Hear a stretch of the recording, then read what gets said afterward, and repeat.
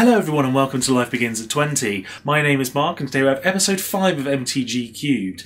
In this episode we're going to be talking about the blue cards in my cube, why I've picked them, what kind of strategies I was going with, and if you have any suggestions for cards that may well improve my cube, please do let me know in the comments section below. I've really appreciated all of you commenting on my white cards video and all of my guild cards videos as well, because all those suggestions have been fantastic. I've made some adjustments already, buying in the cards. There's going to be a few cards still to come on the way, so thank you all so much for that, and I hope you all had a really good Christmas and a New Year.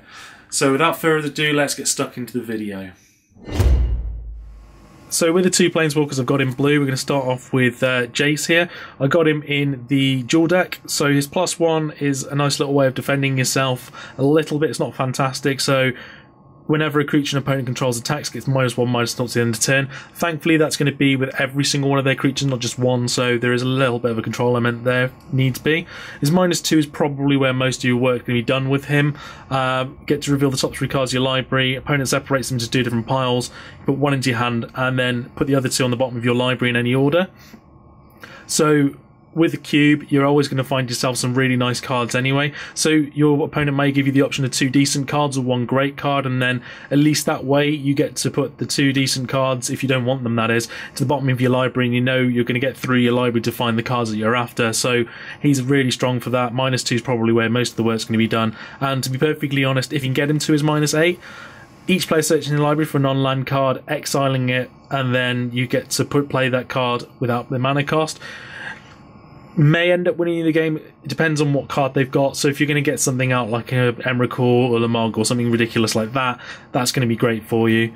And then with the other Planeswalker here, Teferi, um, just wanted to try him out. I don't know whether he's going to be amazing or not in the cube, but I picked him up anyway because he wasn't too expensive, and I just wanted to make sure that each each of the uh, main colours had a couple of planeswalkers just out of a uh, bit of fairness there.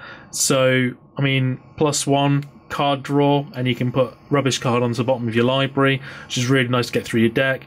Minus one, untapping four target permanents. That's gonna be great. It means you can, you know, untap either lands to be able to play for more spells. You can even with like um, Merfolk Looter or something like that. You can then tap it to draw a card, discard a card, untap it, and do it again if needs be.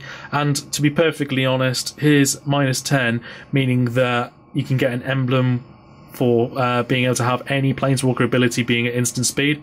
That's that's incredible. And to be perfectly honest, you're not necessarily going to get that.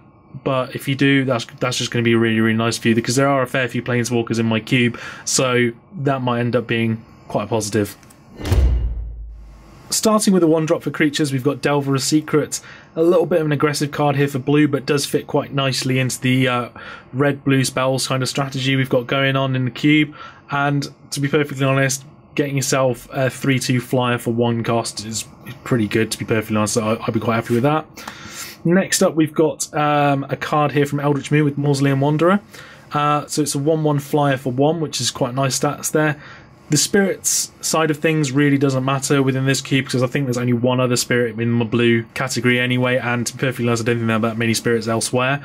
The main reason I've got him in here is that you get to sacrifice him uh, to counter target instant sorcery spell unless the owner pays X, where it's his power. So if there are any other spirits, great. Else, you've got yourself a 1 1 attacking creature that's also going to be a counter spell earlier on if your opponent hasn't got one mana up. So I quite like that for that. And lastly, we've got Phantasmal Bear. Again, it's another aggressive card for blue, which is slightly unusual, but to be perfectly honest, uh, having yourself a 2 2 for 1, and if it becomes a target of a spell or ability, you get to sacrifice it.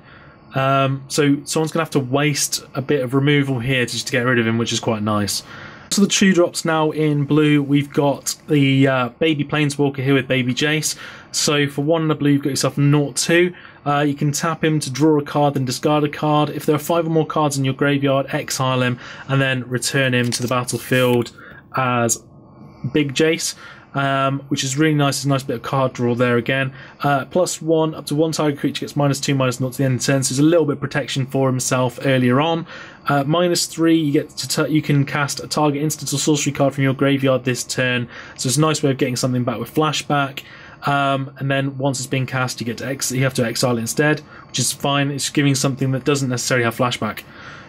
flashback, which is really, really nice. And if you can get to his minus nine, it could be very, very nice, especially in uh, Cube, in a draft format where you're not going to have that big a deck.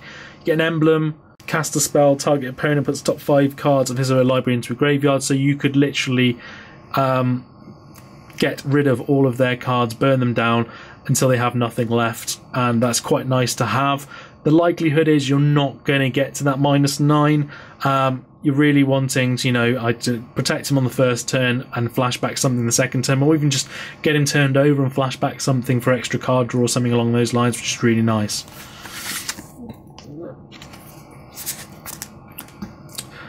Next up, we've got uh, Merfolk Looter, so it's just a nice one body, tap it to draw a card, discard a card, getting through your library is just a nice card to have.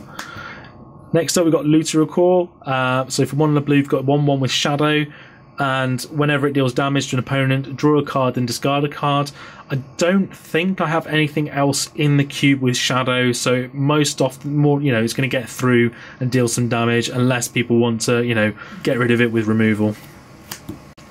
Next up, we've got Wharf Infiltrator. So for one the blue, you've got yourself a 1 1 with Skulk. Uh, whenever it deals combat damage to a player, you can draw a card and then discard a card. Again, quite nice to have that. Whenever you discard a creature card, you may pay two, and if you do, you get to put a 3-2 colorless Eldrazi creature token onto the battlefield. So, being able to draw a card, you get something great, and you you know you can throw away a creature card, but you still manage to get a little body out there.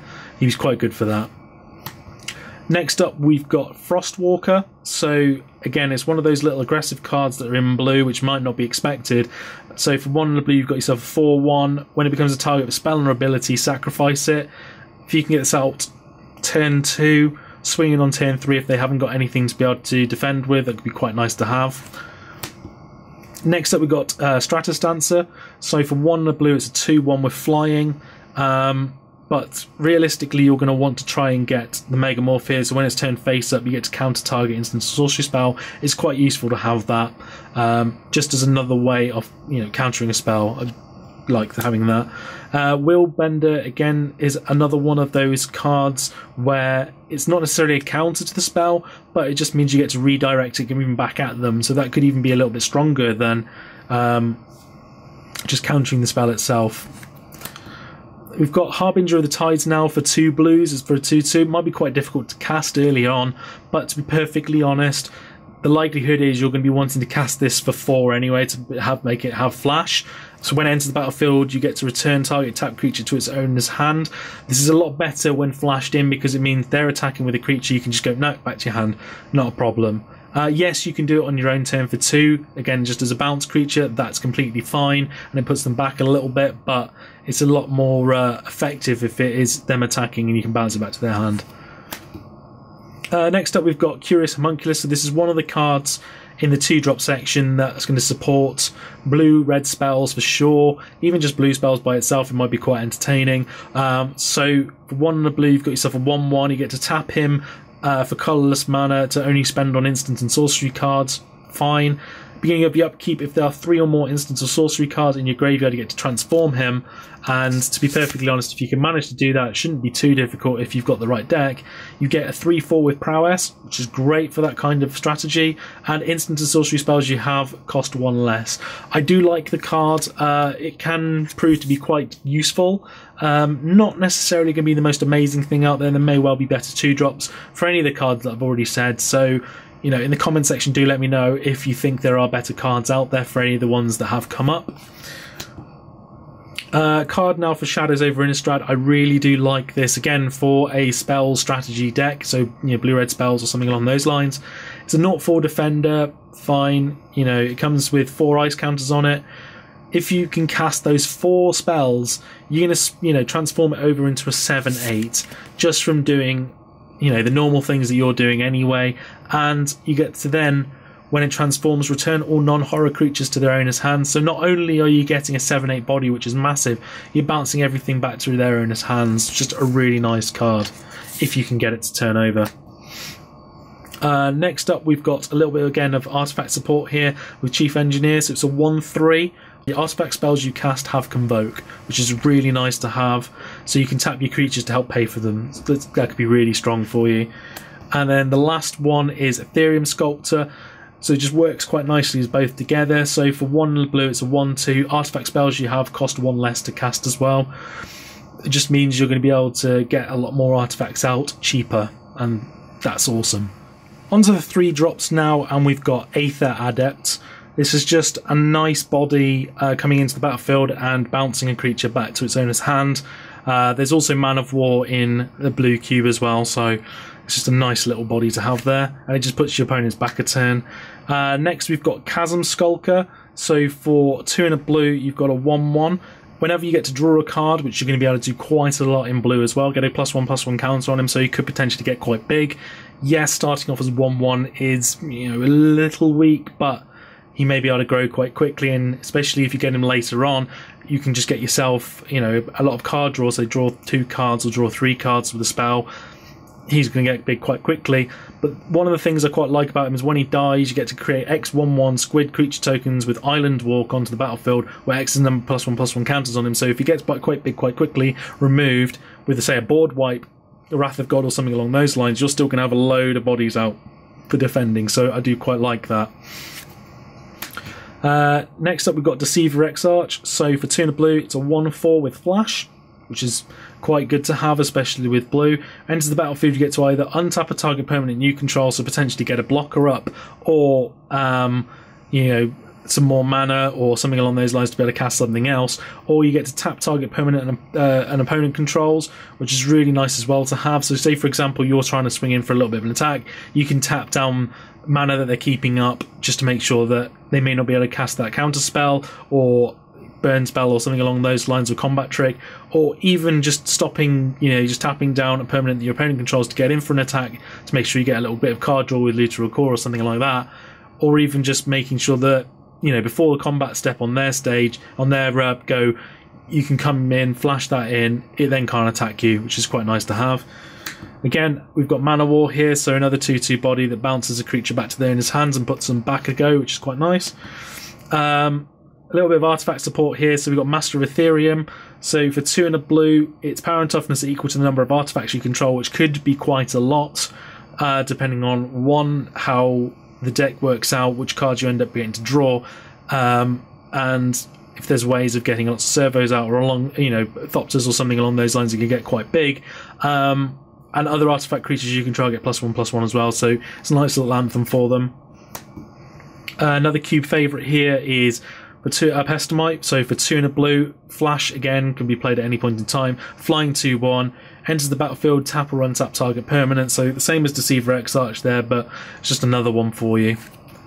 Uh, next, we've got Sea Gate Oracle. So for two and a blue, you've got a 1 3. When it enters the battlefield, you get to look at the top two cards of your library, one into your hand and the other into the bottom of your library. So, you know, you're going to be able to get through your deck a little bit quicker to try and find the spells you're after. May even find the spell you're wanting as well. And it's a nice bit of card draw, so he'd be quite useful to have there. And he's a nice little uh, blocker.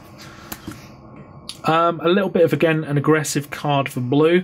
So for three, you've got yourself a flying three-four, which is really nice. And at the beginning of your upkeep, it deals one damage to you. So there is a bit of a downside to him, but depending on what style of deck you're going to have, and if you can get yourself a little bit of life gain, again, he wouldn't necessarily be in the standard blue deck. Um, he may well end up doing some really good work for you. And last of all, we've got Trinket Mage. So for two and a blue, you've got yourself a 2-2. When it enters the battlefield, you can search your library for an artifact with converted mana cost one or less, reveal it and put it into your hands, then shuffle your library. So I mean, in a in a powered cube, this would be fantastic because you'd be able to get you find any of the moxes um, or anything like that. There are a lot um, of cards in, especially in my cube, like little mana rocks, like Everflowing Chalice or things like that, which are only one cost. So you may well be find yourself something useful with this. Um, a flicker effect again on it would just mean you'd be able to find another artifact for you, and it's a nice deck shuffle as well. So if you've put things on the bottom of your library you kind of want to have back, you know, shuffling your library up means that you've got a better chance, or potentially a better chance of getting it than it is on the bottom. Onto the four drops now, and we've got Clever Impersonator. For two and two blue, you can have it enter the battlefield as a copy of any non-land permanent on the battlefield. That could be anything you've got or anything your opponent's got, and it's not limited to creatures. That's what I really do like about this.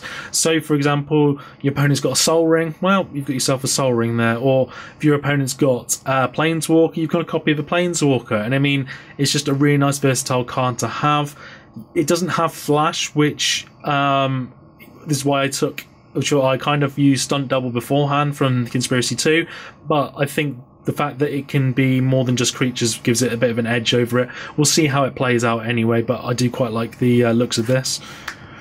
Next up, we've got Dungeon Geists. So you've got a flying 3 3 here. When it enters the battlefield, tap target creature an opponent controls. That creature doesn't untap as long as you control this. So it's just a nice little control card to have on a 3 3 flying body as well. Uh, one of the new cards from Commander 2016 here was Faerie Artisans. Uh, so it's a flying 2-2, so potentially can be you know removed quite easily. But whenever a non-token creature enters the battlefield under an opponent's control, you get to create a copy of that, and it's an artifact in addition to its other types. Um, then if the multiple things come out, if say for example another creature comes out, that's the token that gets copied, and the other one gets uh, disappears. So in a cube, there's going to be lots and lots of cards with enter the battlefield triggers. So your opponent's really going to have to think about what they're planning on doing um, when this is on the board, which I quite like the option of. I mean, yes, they could play around it by playing a you know a big creature first, then a little creature afterwards, so you only have the copy of the little creature. But the enter the battlefield trigger still happens, so you get a little you get the uh, the benefit of that as well. So I do quite like this card. We'll see how well it does. It may or may not stay in the cube, but I just I, I quite like the way it works. Next up, we've got Forgotten Creation. There's a little bit of a zombie theme going on in my cube. Not that this, you know, helps a huge amount with that, but having a 3-3 body with Skulk for 4 is quite nice. But it's the fact that at the beginning of your upkeep, you can discard all the cards in your hand and draw that many cards is really, really nice to have. It just means you're going to be able to get through your deck quicker to find the cards that you're after. And to be perfectly honest, if you've got a dud hand, that could be really, really useful. Uh, next up, we've got Havengul Runebinder. So for two and two blue, we've got a two-two. Again, he's helping with the zombie theme here. So you can for two and a blue, tap it, exile a creature card from your graveyard, put a two-two zombie creature token onto the battlefield, then a plus one plus one counter on each zombie you control. Black blue zombies is a little bit of a thing in my cube. It could probably be buffed up a little bit if I, you know, get a couple more cards.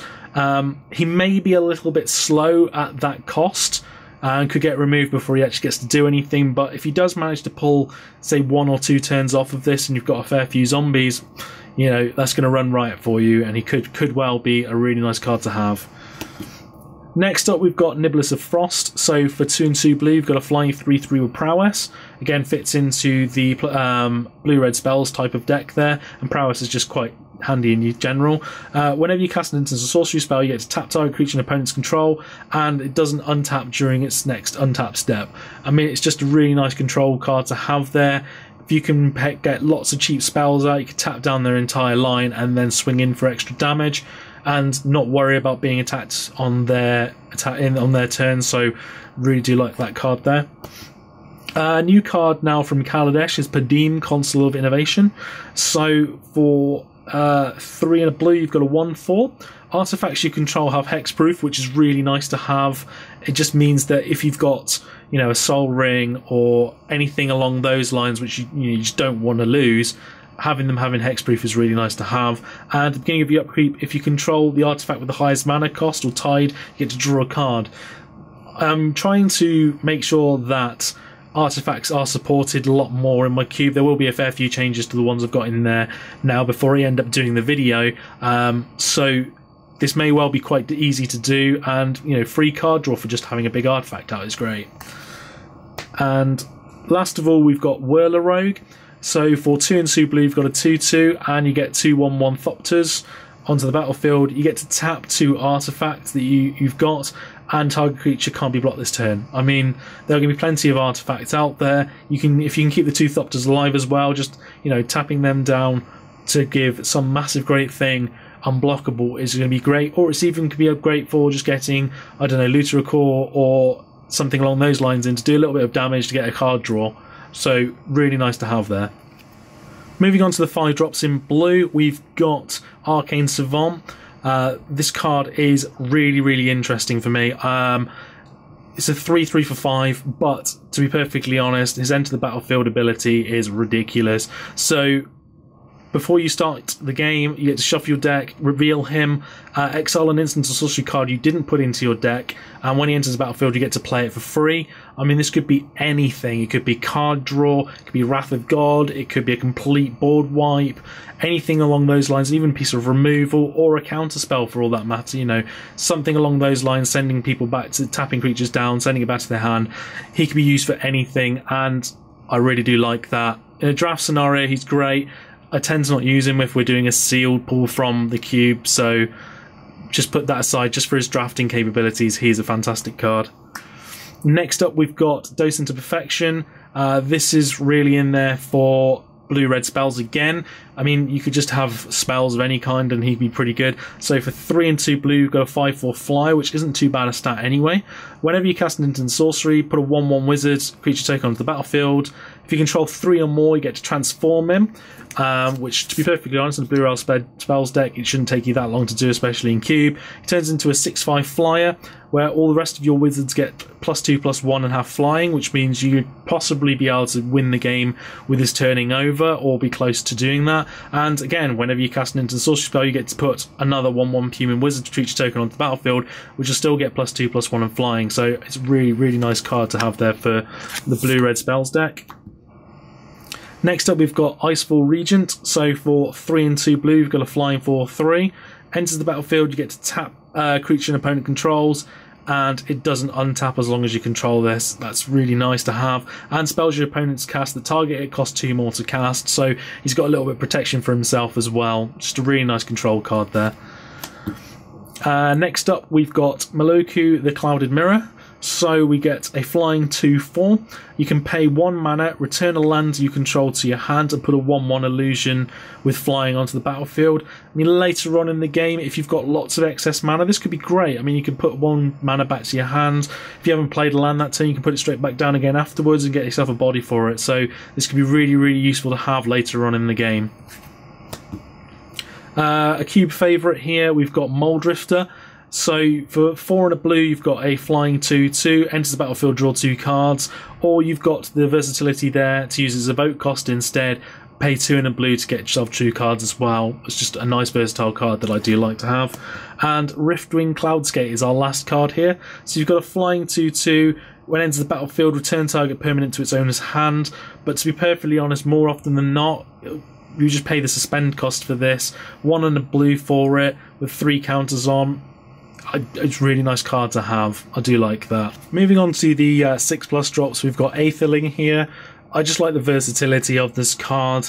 I mean, you get to, um, you know, make it unblockable, boost it up to be able to either be an, a great attacker or a really nice blocker for you as well. And you can even then save it. You can block it, block something and then flicker it back. I mean, just a great all-round card there. Next up, we've got Frost Titan. So it's 6 6 for 6, which is really nice. Uh, removal is going to have to be 2 extra just to be able to uh, get rid of him, which is, you know, pretty good. Um, whenever he enters the battlefield or attacks, you get to tap target permanent. It doesn't untap during its next controller's end step. That's just a nice bit of control you've got going on there on a 6 6 body. I really do like that. Next, we've got Torrential Gearhulk from Kaladesh. I mean, this one's doing great things in standard. I think most people are playing it along with Smuggler's Copter. So, for 4 and 2 blue, you've got yourself a 5 6 flash. And when it enters the battlefield, you can cast a target instant card from your graveyard without paying its mana cost. If this card put into your graveyard, exile it instead. I mean, you could do all manner of things with this. You can have a counter spell, you could get a little card draw from it, you could even, you know, board wipe if needs be. This is just a really nice card to have. For 4 mana, it's fantastic. And then the last one we've got here, it's a 7 drop with Inkwell Leviathan. I mean, it's a 7 11 creature with Trample, Shroud, so it's going to be difficult to deal with, and Island Walk. So if your opponent's got an island, it's going to be unblockable as well. I mean, this thing is just a beast. So moving into the instance now, we're starting off with Brainstorm. So for one mana, instant speed, drawing three cards, put two cards from your hand on top of your library in any order, which could be quite nice. You're just going to drawing a card and fixing up the next two turns for you. May well be, you know, really nice to have there. Next, we've got Ceremonious Rejection from Kaladesh. May well end up being quite useful. So, for one mana, you get to counter target colorless spell. I mean, there are some very, very nice artifacts within a cube or you know colorless creatures, you know, such as Emrakul or something along those lines. Um, this, you know, if one mana to counter that would be, be really nice. So, it may work, it may not. We'll have to wait and see. Next, we've got Force Spike. So for one, counter target spell unless its caster pays an additional one. I'll quite happily have that every single day of the week. Next, we've got Illusion of Choice. So for one, you get to, again, ignoring the top part because to be perfectly honest, um, I'm not playing any cards from Conspiracy for voting mechanics, so that's fine.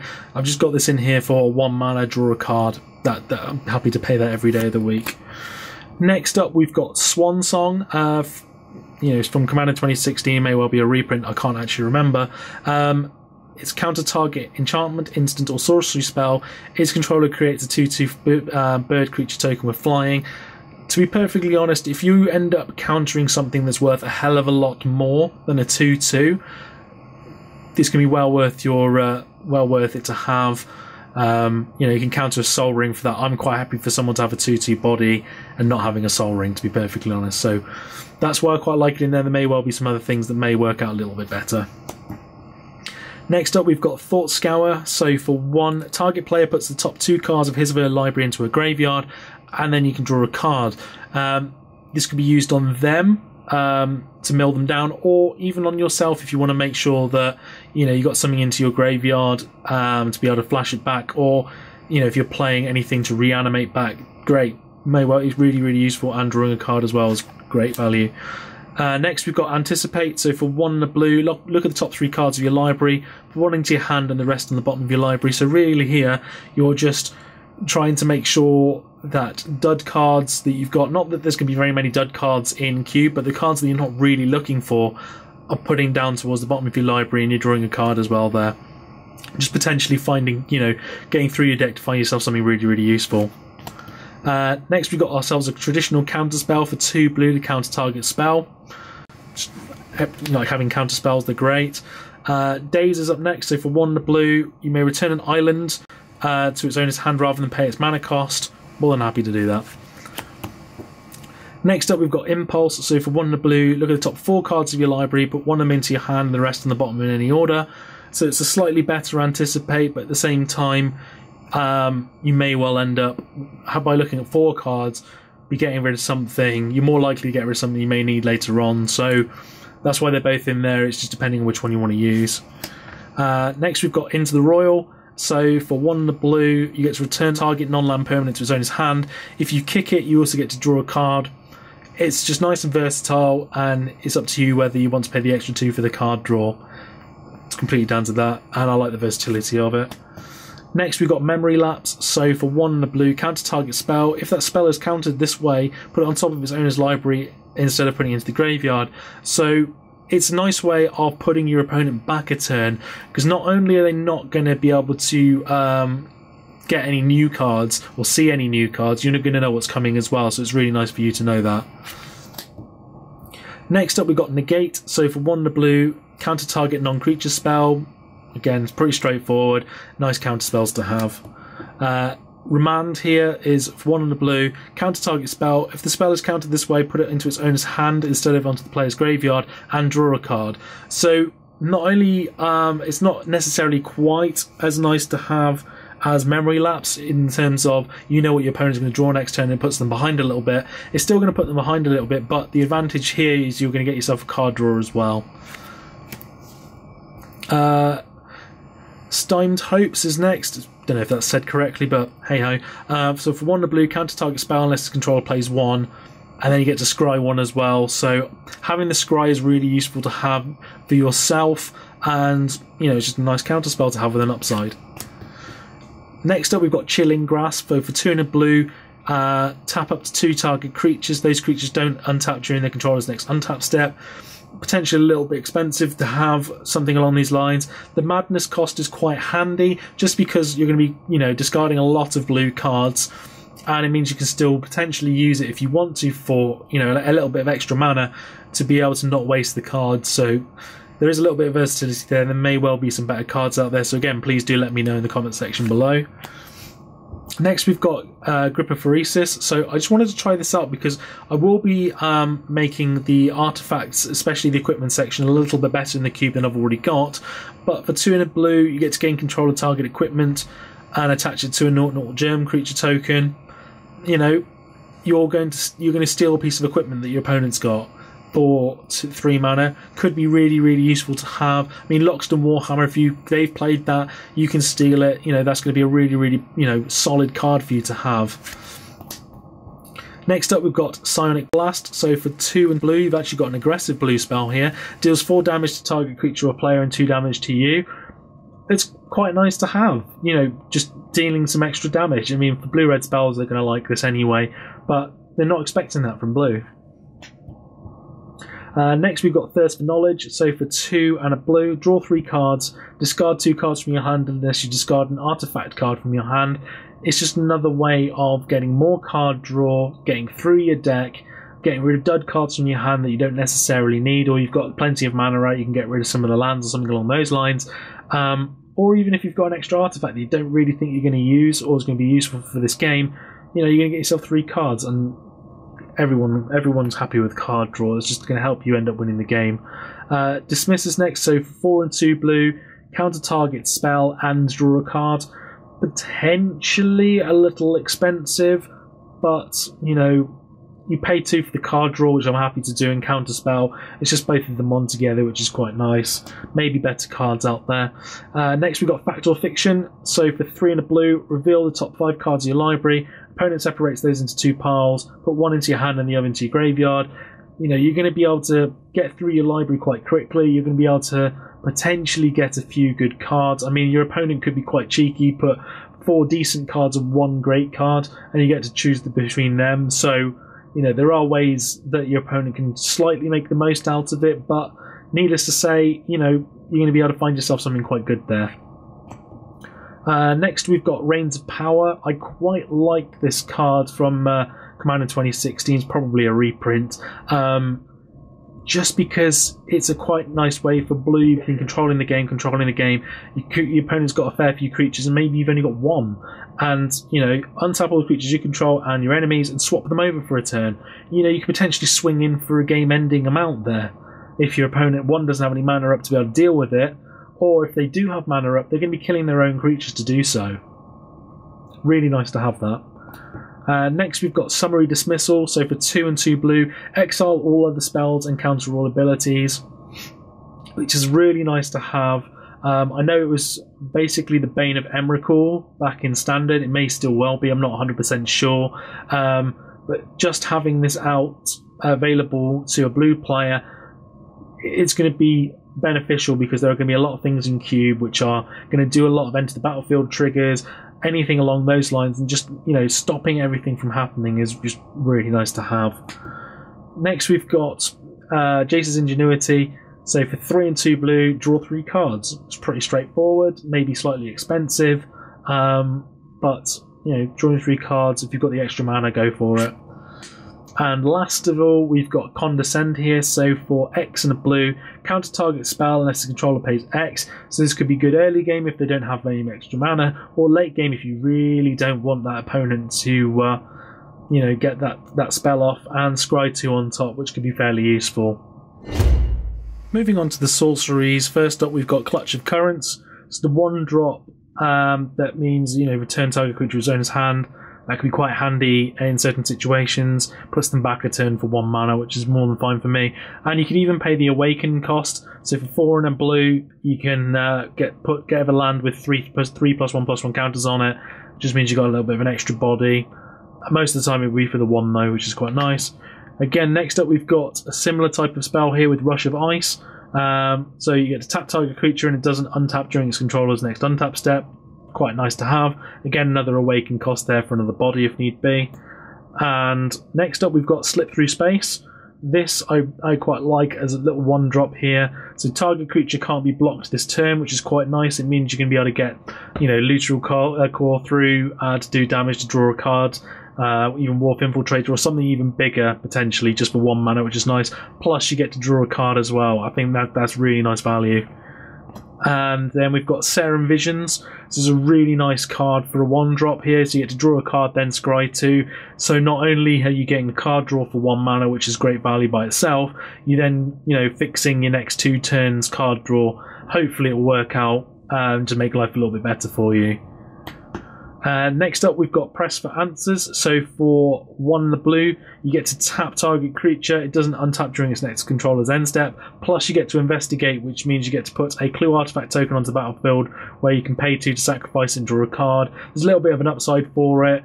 Having more artifacts can be useful as well with certain cards in here. So, you know, it'd be a really nice card there to have. There may well be better things out there, so again, do let me know in the comment section below. Next up, we've got compulsive research. So for two in a blue, target player draws three cards, then that player discards two cards unless uh, discards a land card. So, you know, you may well have extra lands later on in the game to be able to sell three cards, which is really nice. To be perfectly honest, even drawing three and discarding two rubbish cards is going to be really nice to have as well, and it gets you through your deck to find the things you're after. So, you know, I can't, I can't not like that card.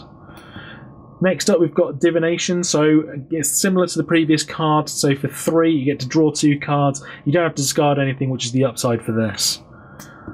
A uh, card that I literally pulled recently um, from a pack of Conspiracy 2 is Show and Tell. This is a really, really strong card. So for two and a blue, each player may put an artifact, creature, enchantment, or land card from his or her hand onto the battlefield and it's just amazing. You could put something absolutely massive out onto the battlefield on turn, possibly even turn two, and it'll end up winning you the game. Yes, your opponent, you know, gets to put something else out as well, but you know, if you're going to put out, say, Ulamog, Emrakul, Craterhoof Behemoth, something along stupid along those lines, out on turn two, you pretty much won the game there.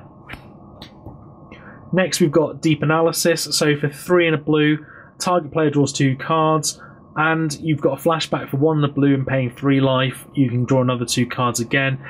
Can be quite useful. The flashback thing is more than happy for me. I will quite happily have this discarded, for example, and then play the uh, pay the flashback cost from my graveyard to be able to pull the spell off. So nice to have that there.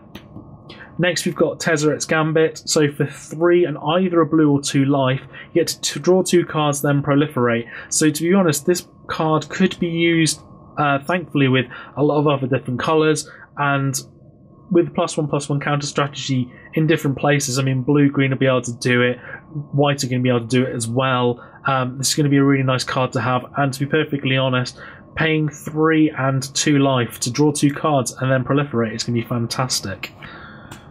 Next, we've got a nice little board wipe here with Devastation Tide. So either 3 and 2 blue, you get to return all non-land permanents to their own hands, which could cause a lot of problems, especially if either they've got a lot of token creatures out, or just a lot of creatures in general, because it means they're going to have to start discarding some cards. The best part about it, with this card anyway, is your Miracle cost. If you draw it on the turn, you get it. It's only one in the blue for a nice board wipe, and it can get you back into the game there. So I do quite like that. Next up, we've got Pore Over the Pages. So for 3 and 2 blue, to draw 3 cards, untap 2 lands, and then discard a card. So realistically, you're paying 1 and 2 blue to draw 3 cards and then, you know, tap and discard a card. Quite happy to do that. It's going to mean that you could potentially even play one of the cards you've managed to draw that turn anyway, so it's quite nice to have that. Uh, next up, going with a little bit of a zombie theme here. Uh, for 5 and a blue, you get to put a 2 2 zombie creature token onto the battlefield tapped for each instant and sorcery card in your graveyard. This could even be a nice thing to have for a blue red spells deck, just to be able to get a load of bodies later on in the game, just to have a nice little bit of a defense there, or even potentially getting a load of creatures out for the following turn to be able to swing in and do some serious damage to your opponent, potentially even getting rid of them if there are that many instant or sorceries in your graveyard.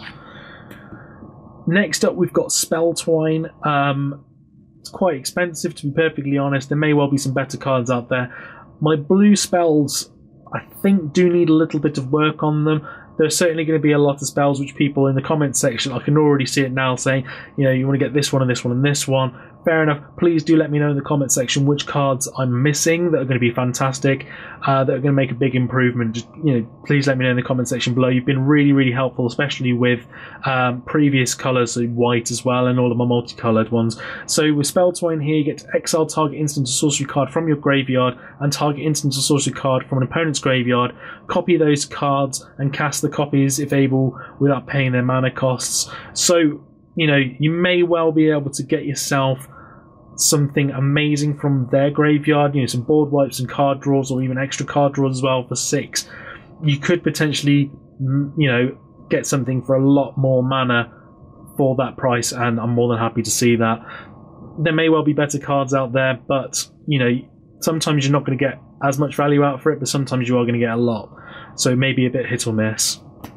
Next up, we've got Upheaval. So for 4 and 2 blue, return all permanents to their owner's hands. It's just a solid piece of solid card there. It just means that you know you're going to put everything back into the hand if they're you know if they're ahead of you, um, and it includes lands as well. So you know you may be able to play a land out on your turn to mean you're going to discard less cards potentially. They may end up having loads of cards in their hand. They're going to have to discard a hell of a lot, which means that we'll put them behind. And then last of all in the sorceries, we've got Treasure Cruise here. So for seven in the blue, but to be perfectly honest, you're not really going to pay that much to draw three cards. Um, you get to delve, so each card you exile from your graveyard can pay one one of this. You could potentially have seven cards you get rid of from your graveyard, and it means you're just paying one blue mana for three cards. If you don't have that many flashback capability things, maybe a really nice option for you. Moving on to the enchantments here, uh, we've got Bident of Thassa as my first one. I've made sure that each of these enchantment artifacts are in uh, each of the main colours. I just wanted to see how they play out. I mean, some of them are great and some of them may not stay in, but will you know remains to be seen. My player base quite like them. So we've got this one here. Whenever a creature you do uh, control deals combat damage to a player, drawing a card. There are other cards within uh, my cube in blue, especially like Looter il-Kor, which do exactly the same thing. You're going to get extra card draw, which is really nice, and you can pay one in the blue, tap it, creatures your opponent control, attack this turn, enable. So it means if they've got some things they're trying to keep on defense just to stop you attacking, this might be a nice way of making sure that you can then swing in for some extra card draw the following turn.